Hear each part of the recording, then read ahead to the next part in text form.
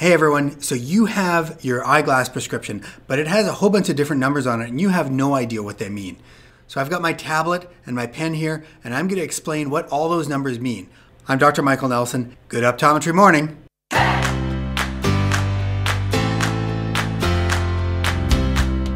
The first thing you need to know is OD and OS. You're going to see these all the time in optometry. OD stands for the right eye. It comes from the Latin ocular dexter, meaning right. OS stands for the left eye. It comes from ocular sinister. Going across, there's three main categories. One is going to be the sphere, one is going to be the cylinder, and the third is going to be the axis. First, I'm going to talk about the sphere. Now, the sphere is going to have a standard notation of either going to be a plus or a minus, and then some digits following it. First of all, going to refer to the plus or the minus, and these terms basically plus. If you see plus in front of the number here, it's going to stand for hyperopia or farsightedness. If you see a minus, it's going to stand for myopia or nearsightedness. Another term for far- hyperopia is farsightedness. Another term for myopia is nearsighted. What you're going to notice is that people that are nearsighted are much, much more common than those people are that are farsighted. It is very, very important that you always include this notation, the plus or the minus, in front of the sphere. Otherwise, you have no idea whether the person is farsighted or nearsighted, and you're left to just guess. Now, the unit of measure for the sphere is in diopters, and diopters will come in 0.25 steps. So there'll be 0, 0.0, 0.25, 0.5, 0.75, and so on and so on. Once again, it is very important that you write out all the digits.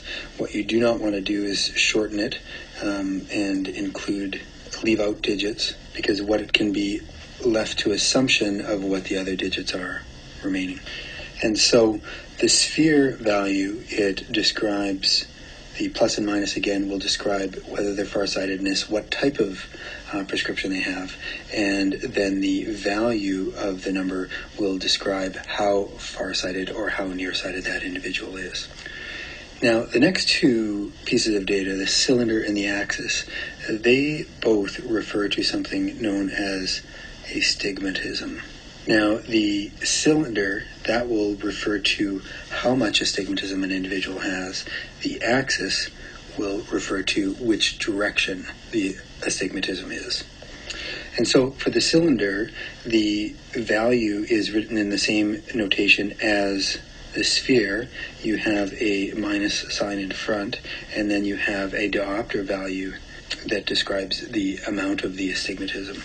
Now, unlike the sphere value, the cylinder value in this situation is always going to be minus, and this is referred to as a minus cyl prescription.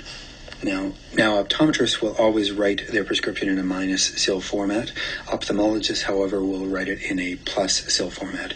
In another lecture, we will talk about a plus cyl, but in this case, we will always assume it's minus. If you ever see this value as being a plus, it may be in a, in a plus cyl form, and it's really important to take note of that. But otherwise, this value should always be minus. Once again, the value of the cylinder is in diopters, and it's in the same notation as the sphere in 0.0 or 0.25 steps. The axis of the prescription refers to which direction the astigmatism is in, and it refers to axis on a protractor in degrees. And so a range in value from 0 up to 180 degrees, ranging in 1 degree steps throughout. The value of the axis is going to range from 001 up to 180 degrees. We don't have a zero value because that's actually the same thing as 180 degrees. With axis, it's extremely important that you write out every digit in the value to avoid confusion. If you simply write out the digits, for example, 1 0, the question remains is that 100 or is it 10? And the difference that makes is huge. And so, for that reason, it's extremely important that you write out all digits so there is no confusion. If it's 10, you write 0, 1, 0. If it's 1, you write 0, 0, 1. If it's 100, you write 0, 1, 0, 0. All right, and so based on this, this should give you a basic understanding of the standard minus cyl prescription written by an optometrist. So that's just a basic intro of some parts of your eyeglass prescription. If you like this video and you want to see more of them, make sure you hit the subscribe and hit the bell button so you can get notifications as soon as they come out.